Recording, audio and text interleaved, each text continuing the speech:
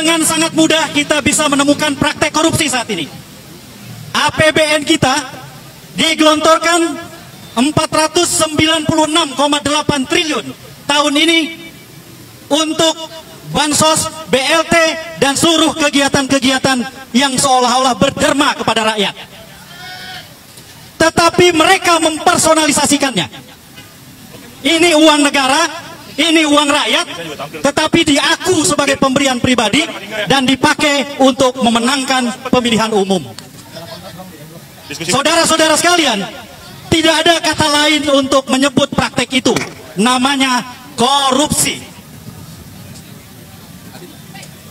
Itulah pengerusakan yang pertama. Pengerusakan yang kedua adalah kolusi. Beberapa hari yang lalu, seorang konglomerat mendeklarasikan